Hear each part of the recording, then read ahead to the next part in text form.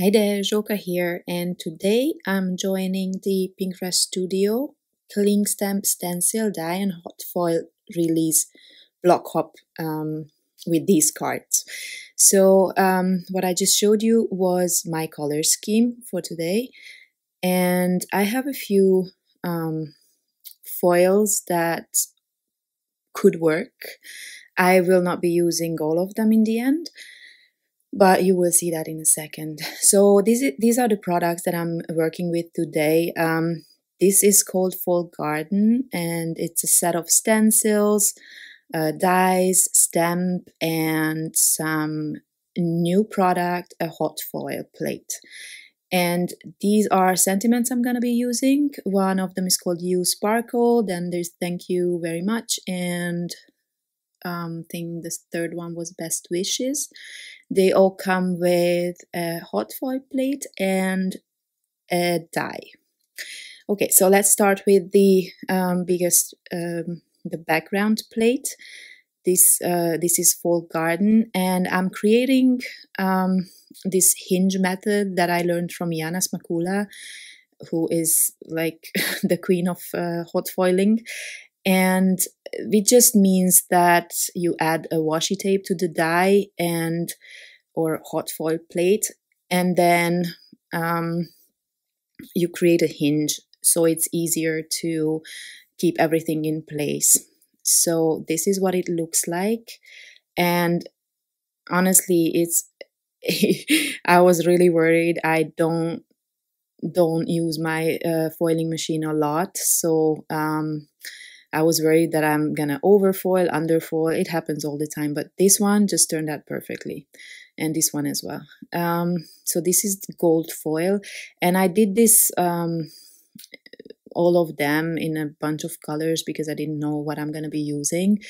And just back to the machine, I know it's sped up, but um, I hope you can uh, see what I'm doing.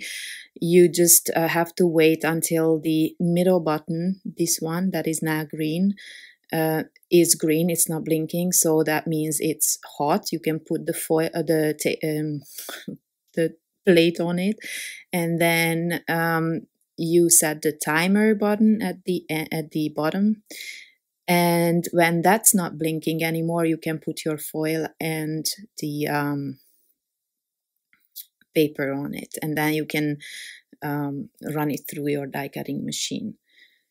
So um, this one is an orange i think. Actually it's called tangerine but i'm gonna check and link it in. It's from Spellbinders all these foils. And what you see here what i'm doing um, this was actually not over foiled but there were uh, pieces of excess foil on the paper but these ones you can just remove really easily with a brush um, and then you have the perfect foiled um, image. Okay, so next step is that I'm die cutting everything um, except for these um, backgrounds, which I'm now going to uh, color, which is perfect. I don't, I really don't like coloring, but with these stencils, it's just fast and great. I'm using the Sapphire um, ink for my first layer. These are the leaves. And then for my second layer, I'm going to use um, Stargazer, which is like a navy ink. And um, all right, what I what was I gonna say? I wanted to say something about the stencils all right i don't know. So uh, basically what i'm doing here is just flat um, ink um, ink blending. I didn't want to bother small images you know i didn't want to bother with any um, shading. And this goes really fast. Then I pair these uh, blues with some orange colors. Uh, this one is the darkest orange uh, persimmon and then um, a shade lighter is what I'm using now. Uh, this is called Clementine. I will link everything in the description. And what I love, oh yeah, I, this is what I wanted to say. Uh, what I love is that um, you can color over um, the the um, the foiled image and it's not gonna destroy your foil um, nothing is gonna happen to it it stays just as beautiful okay so i'm gonna show you something here that in the end i'm not going to use um, at least not the way i want it to.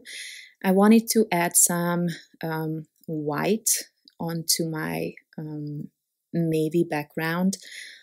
Now this ink is a pigment ink, and this this actually covers the um, the foiling, not all the way, but um, it's just gonna be faded and I didn't quite like the the look. Not when like here it's still okay, um, but then later when it dries and especially the flowers that I'm gonna do now, um, the colors are just not gonna be what I imagined. So I added white first, just so that I have a chance to actually have some color on that dark background. But I did not wait in between steps. So I did not wait for the pigmenting to dry, which probably would have been a good idea. So here I still have a relatively nice orange color but as it dries it's it's just gonna fade out the white i really like the, the way that looks but anyway i wanted to leave this in the video just um, so that you see a different um, idea on dark backgrounds but i'm not going to use these um, for my cards. So now i'm gonna die cut all my panels. And uh, this die die cuts the bigger uh, pieces, there's to be a few uh, smaller um, images that it doesn't die cut, but that doesn't bother me because I anyway just wanted to use the bigger ones. And now I decided that I actually want to do some slimline cards, which was not my first um, thought. And for this, I am using two slimline dies from Pink Pinkfresh. One of them is the slimline stitches, I think it's called. This one, this gorgeous, gorgeous background. And the other one is the uh, diagonal stripes. Both of these exist in, or at least for sure, the stitches exist in A2 size as well, but I think the diagonal as well. I'm gonna link in everything in the description box below so you can easily find them. Uh, okay, so here, here I actually still quite like those white, um, white blue um, flowers, but then again, I'm not gonna end up using them. Maybe I like them because um, they are on white background, but um, I'm actually adding navy cardstock to that diagonal, so maybe that's why I didn't like it in the end. So now I'm creating my uh, card bases. I created two of these um, stitched ones and here I actually didn't notice that I uh, glued it down the wrong way or at least it's not the wrong way but for me I wanted the stitches um, point towards the top but now they are uh, pointing towards the bottom on one of them at least. And this is what I was talking about earlier. I'm adding the diagonal um, die cut onto a navy background. And because I, I just wanted one card at least to be um, not white so that's why I decided to have a navy one I didn't really have a, a card stock that matched the other blue color on the um, flowers that kind of um, royal blue, I would call it. So I just went with navy. Um, now for the sentiments, for all my uh, die cut sentiments, I um, die cut them again twice. So I'm creating a dimensional element here. And I've used um, Neenah Solar White, the, uh, the 110 pound version, and this this way it was actually really um, dimensional because that cardstock is really thick. And I actually use the same cardstock for everything that you see here. Um, so everything is really nice and sturdy. And I'm trying to figure out how I want to place these. um, I was playing around with this for a while. I didn't really like anything, but then um, I will figure it out. You will see that um, in a bit. Um, yeah, so this is what I will go with a kind of um, spread out design from uh, bottom to top I kind of like the, how that looks.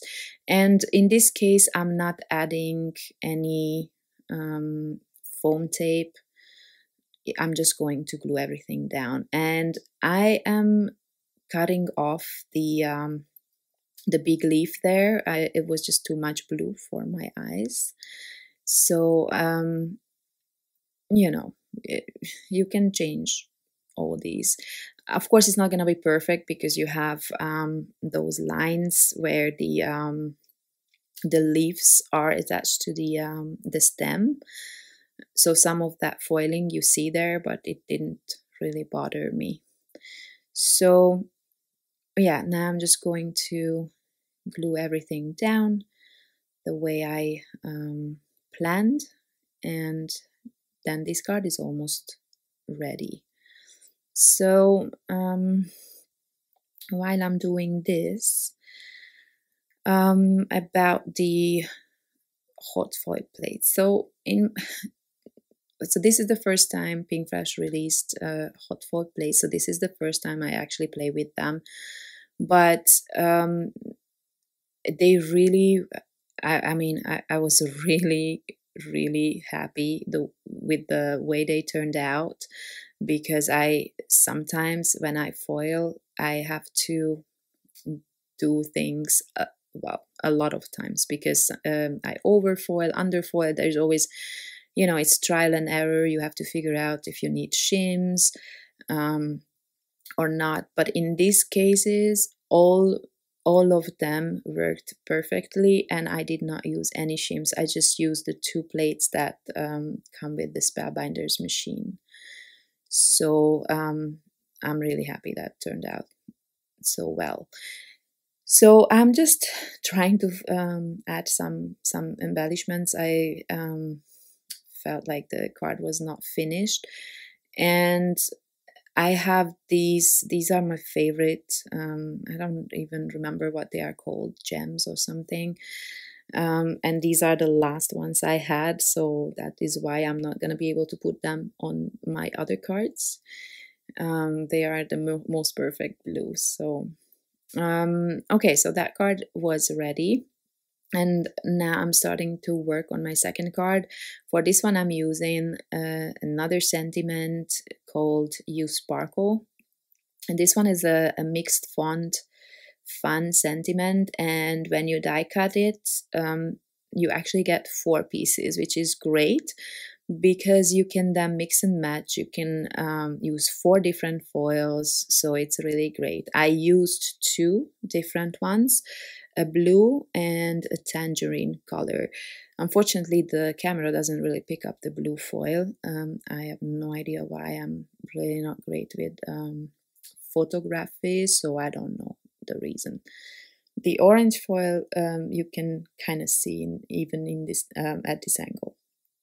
So I'm now trying to figure out how to arrange my little flowers. So at this point, I already put away my uh, glimmer machine. So I really didn't want to start over and foil more. Um, so I try to make it work with the one panel um, that I had.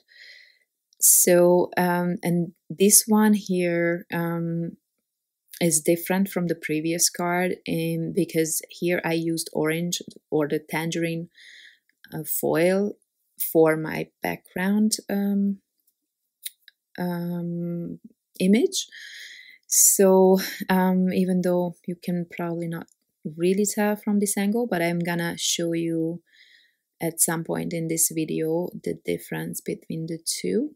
Um, and then you can compare compare them. I really really love this tangerine foil. I hardly ever use it because somehow i can never match it to any supplies that i'm working with. But in this case I really like it with the blue um, stems. So uh, here I am adding foam tape, um, unlike on the previous card. And once everything is uh, glued down, I'm also gluing down my sentiment, um, which, as you saw, I layered up again, uh, like on the first card.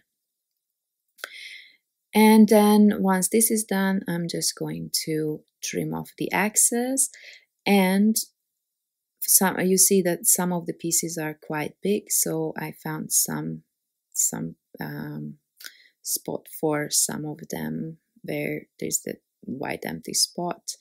I just added one uh, little leaf. So here I was still going for the um, you know that design that I uh, laid out on the left but then I changed my mind and because I didn't want to uh, take um, or you know unpack my glimmer machine again I went with the um, cling stamp which is the exact same image as the um, the foil plate and I just embossed this um, navy panel with gold embossing powder this is from Wow. It's uh, my most used powder. It's called Gold Rich Pale. And here I will show you this panel. You will probably not even see much difference. Um, or I thought I show it, but apparently not. But um, anyway, you, you don't even see much difference between um, the the embossing and the the foil, but in real life, they look totally different. So what I'm doing here, um, just to not waste what I already die cut before and stenciled, even though you will not see it, I'm just going to use it as a second layer um, under uh, the embossed uh, images. And that way, because this navy cardstock is not heavyweight, so this way that I uh, layer them up, at least uh, I can add foam tape without damaging anything. So I'm just gonna do that now. And I again trimmed off that big leaf from the biggest image because somehow I didn't need it there, but I think I might uh, use it in some other uh, place on the card. I'm not quite sure now, but I think I will do, I will do that. So um trying to figure out a different kind of arrangement than um, I had on my previous cards, especially that this uh, sentiment is bigger. Um, it's quite large, so I'm just trying to see what fits um, better. And here I think I only added one layer um, to the die cut. So there's altogether two layers, I believe. And still, it's quite um, thick. I only recently managed to find the 110 pound version of the Neenah cardstock, and I am so ecstatic. Like, I mean, I love the 80 pound version as well for other reasons, but this one is just so amazing. And I think this was the first time I foiled onto a, a Neenah cardstock as well. And it works amazing. Maybe this is also one of the reasons why my foiling is better because the cardstock is thicker. It's also smooth because sometimes I foil on uh, pattern paper that might have a little bit of texture and then the foiling is not so good so the cardstock is important when you want to foil it has to be smooth it, the smoother the better another advice i got from yana okay so there you have it all of them are uh, done and the camera doesn't really want to pick up the um, shine maybe a little bit you can still see the gold works better. All right, so there you have it. I really hope that I could inspire you to um, give foiling a try. I know a lot of you probably have the glimmer machine, but just like me, are too lazy to unpack it. just please do um, and give these uh, new hot foil plates a try. They are really, really great. I can only recommend them. All right, thank you very much for watching, and I hope to see you next time. Bye bye.